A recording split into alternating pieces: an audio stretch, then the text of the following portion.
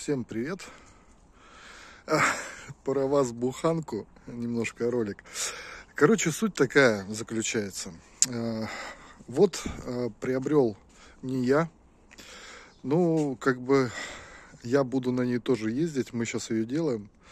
И вот мне интересно просто вообще выкладывать ролики по этому или просто там где-то э, выложить, что сделал или нет.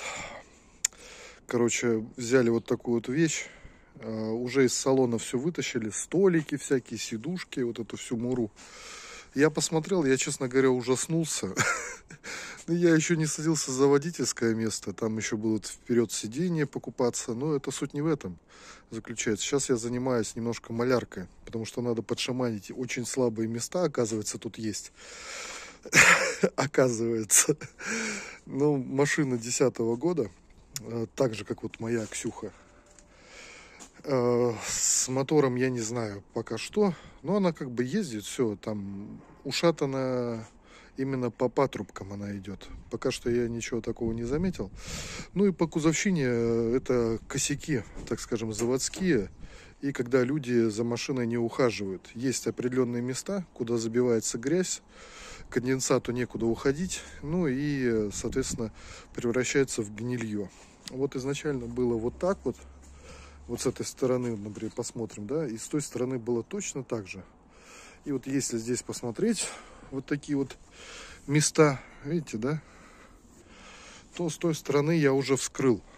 Вскрыл, и сейчас я даже покажу. Я сейчас помаленьку э, зачистил. Э, короче, сначала думал не глубоко, там просто сверху, но там фиг забили, короче, и там насквозь. А, пришлось, короче, отрезной диск поставить и немножко все-таки вырезать. И с этой стороны вот так вот. Вот котски все раковины я вскрыл. Ну, может, не все еще. Ну, вот основные, вот видите, да? Как бы надо сделать вокруг, чтобы потом это вот сейчас обрабатывается химозой. Потом это все будет грунтоваться, шпаклеваться и подкрашиваться. И вот самое основное, это вот то небольшое вроде бы выпучивание краски превратилось в то, что вот этот кусок, он просто рассыпался и вот здесь вот находится. Вот эта вот пыль, это вот от него. То есть ничего целого здесь не осталось. Ну, кроме основного кузова, ну и то он так, скажем, если его не обрабатывать и еще забить на года два, то есть тут будет дыра. То есть дыра будет где-то примерно вот такая вот. Ну и, соответственно, чтобы этого не было, я вскрыл Сейчас обрабатываю. Ну, у меня есть опыт консервации этого всего дела. Надолго, в принципе, хватит. Можно даже голову не забивать. Поэтому я думаю, показывать, не показывать. Вот эти вот вещи, я не знаю, тут э, где-то миллиметр, наверное, толщина металла. То есть год у нее хороший. Это не фольга идет, а именно достаточно прочный материал. Он пальцем не гнется например, как в моей Ксюхе, тут гораздо толще материал. Вот, например, спиленный, видите, просто как у Кусман. Вот это вот буду затягивать. Хотел сначала сваркой, и вот э, у меня есть металл подходящий, оцинкованный. Ну вот что-то не, не, не знаю я, смысла я особого не вижу, тем более это крыло, тем более здесь будет вода стоять. И я буду, наверное, по старинке это все делать. Сейчас продул э, канавки и пытаюсь прочистить вот так вот в бок. Вот здесь вот должно вылазить. Э, проволокой я прочищал. То есть вот здесь вот идет вот этот металл и сверху крыло. И где-то вот тут с крыла должна эта грязь, конденсат стекать. Короче, каналы эти все забиты. Причем они очень узкие. И вот эта вот вещь лучше, короче, сделать непосредственно, ну, я так думаю, эпоксидкой. Хотя люди делают металлом, но металл будет гнить, потому что тут конденсат образовывается, пылью забивается. А эпоксидки вообще все пофигу. И вот такие места она очень хорошо отрабатывает и переживает. Тем более это не несущая конструкция.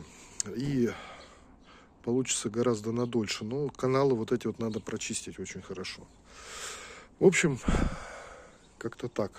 Тут уже замочки отремонтировали замочки на всех трех дверях. И вот с этой задней дверью тоже вот эти сколы краски.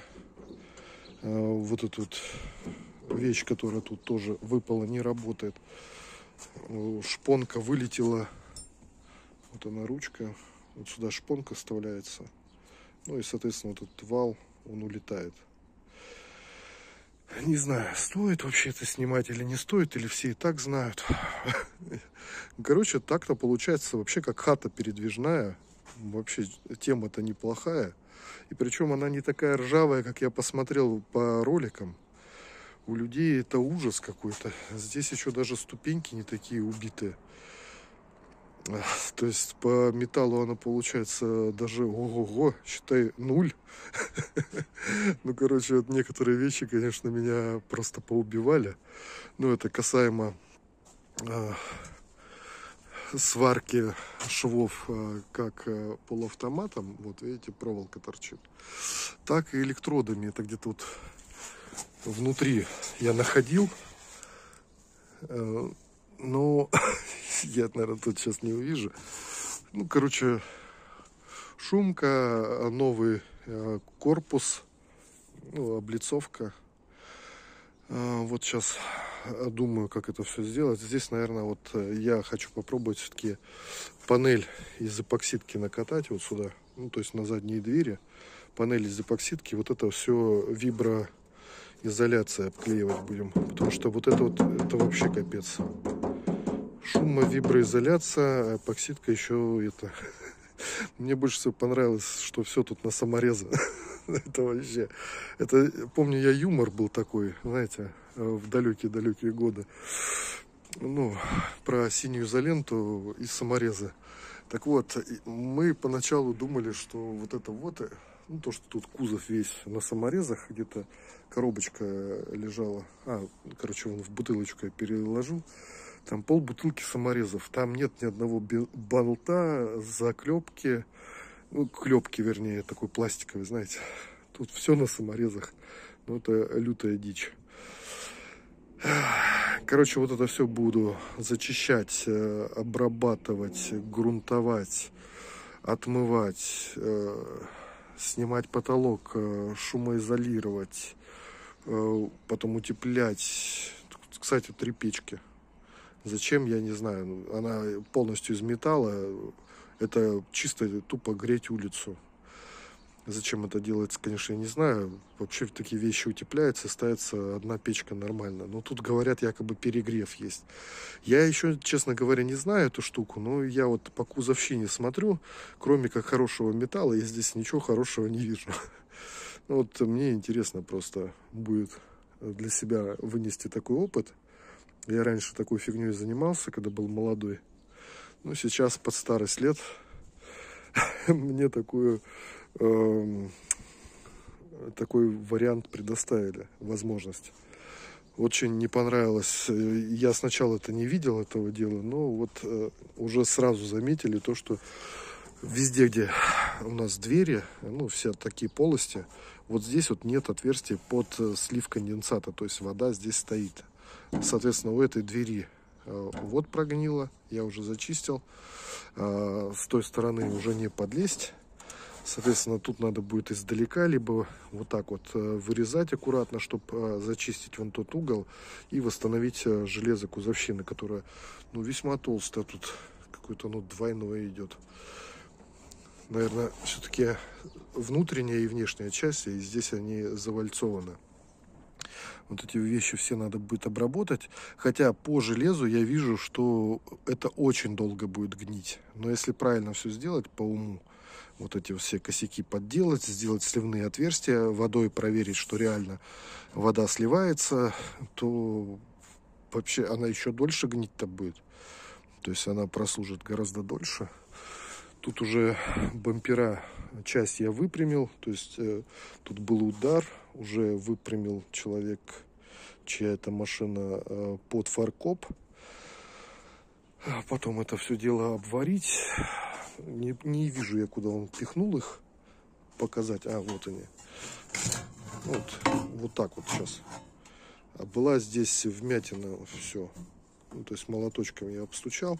И оказывается еще и жестянщик. Я просто не знал. Вот эту вещь надо тоже, видите, вмятина. Надеюсь, видно. Надо снять тоже, обстучать, подделать, потом подкрасить. Пух, короче, делов много. Предстоит восстановить проводку, потому что проводки хана. И вот, вот это вот, даже не знаю, как здесь вот так вот придумали. И провод может вот так вот, вот сюда вот попасть. Нет никаких таких вещей, типа, знаете, пластиковые накручиваются специально, который не дает э, как бы никуда изогнуться и куда-нибудь попасть. То есть вот эти вещи я буду тоже переделывать. Может быть интересно кому-то будет, может нет. Есть ли вообще смысл подобного выкладывать или нет. Проблемы, с которыми мы столкнемся в будущем. Она в электро не будет ни в коем разе переделываться. Это у нас у каждого есть вот такие вот машины. У кого-то их больше, у кого-то меньше. И в основном я пользовался доставками. Ну и родственник тоже доставками пользовался. Но в последнее время цены, мягко говоря, не очень. И дешевле, знаете, 20 литров бензина купить сюда и смотаться по разным местам, чем э, нанимать газели и оформлять доставку. Потому что вот здесь